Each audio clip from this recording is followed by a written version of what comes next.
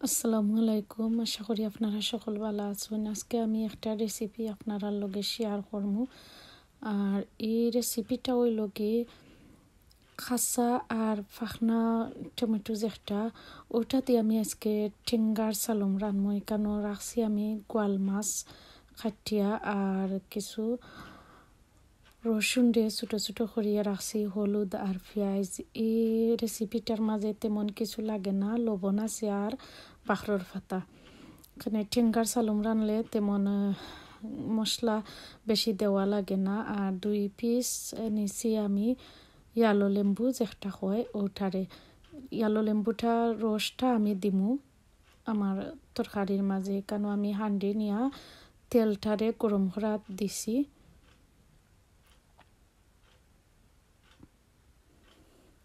তো তেলটা মশলা গরম হয়ে যার।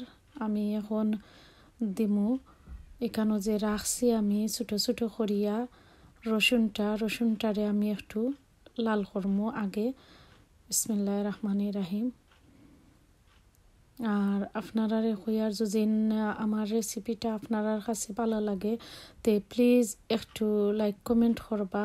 আর নতুন যারা, তারা আমার ইউটিউব চ্যানেলটারে সাবস্ক্রাইব করবা প্লিজ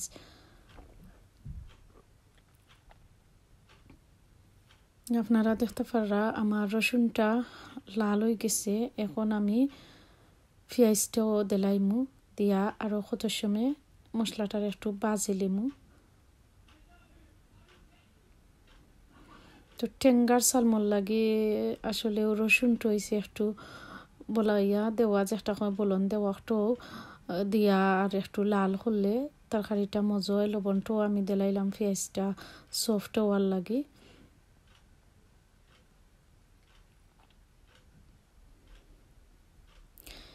একটু সামান্য পানি দিমু। দিয়া আমার পেঁয়াজ রসুনটারে কত সময় আমি নাড়িয়া বাজমু। ফেসটা আরও সফট হওয়ার লাগে। গড়িয়া রাখি দিলাম, আমি কয় মিনিটর লাগি। আর এখানেও দেখতে পাররা, আমি নিয়েছি ইয়ালো লেম্বু যেটা ওটারে নিয়া আমি, ওটার রসটা আমি রাখলাম।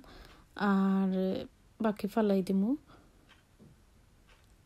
তো একটু দেখিছেন, আমার ফেসটাও মাসাল্লাহ সফট হয়ে গেছে। এখন আমি এড করব খালি হলুদ যেটা ওটা। তো সে কিলান রান্ধন প্লিজ আমার একটু কমেন্ট করিয়া জানাইবা। টমেটোর টেঙ্গাটা আমি জেলান রান্ধি আপনার লগে শেয়ার করলাম। আর খাসা ফাখনা টমেটো দিয়া তরকারি রানলে আসলে খুব একটা স্বাদ হয় খাইতে ভালো লাগে। মশলাটা আমার রেডি হয়ে গেছে। এখন আমি টমেটোগুলা দিলাইম।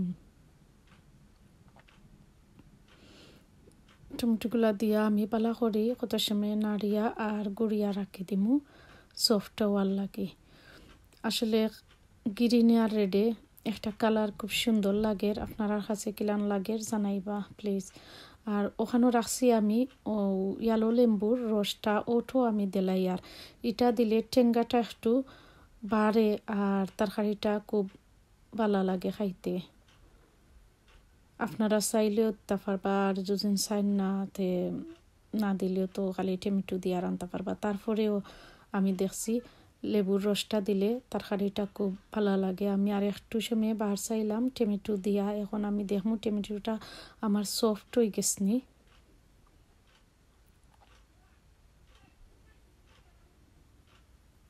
মাসাল্লাহ আমার টমেটোটা রেডি হয়ে গেছে। আমি এখন মাছগুলা দিলাইমু। আর টমেটোটা আরও একটু সফট আপনারা চাইলে করতে পারবা আমি বেশি সফট পালা পাই না।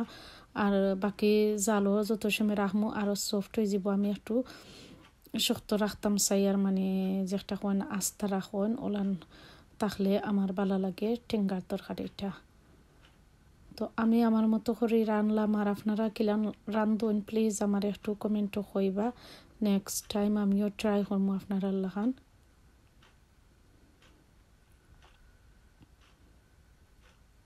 এখন আমি আমার বাখরুর পাতাটাও এড করিলি আর। বাখরুর পাতা, মাছ আর টমেটো আর কত সময় আমি জালও রাখি দিমু স্লো গ্যাসের মাঝে। আসলে গার্ডেনোর ফ্রেশ টমেটো তরকারি খাইতে কিন্তু খুব ভালো লাগে। আমার কাছে লাগে আমার তরকারিটা রেডি হয়ে গেছে, আমি একটু পানি দিলাই।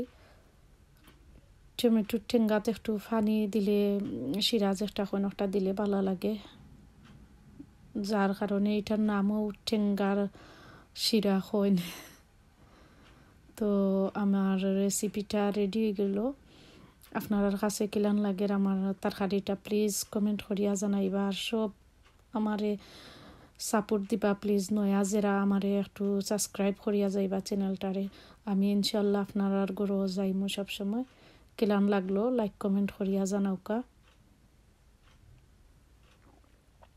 আর সব বালা থাকবা আসসালামু